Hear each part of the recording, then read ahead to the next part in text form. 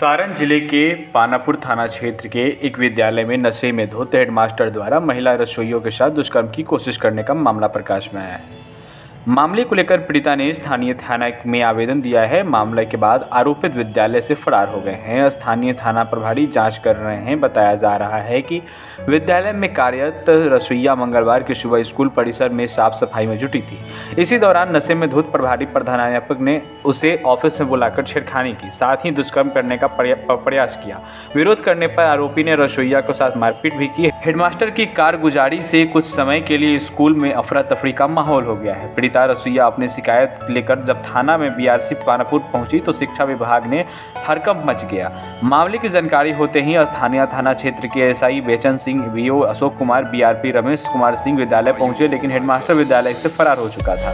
VO Ashok Kumar ने बताया कि हेडमास्टर अपना मोबाइल रिसीव नहीं कर रहे हैं, कड़ी कार्रवाई की जाएगी। वही स्थानीय पुलिस का कहना है कि रसोईया द्वारा किए गए आवेदन आलोक में मामले जाँच की जा रही है।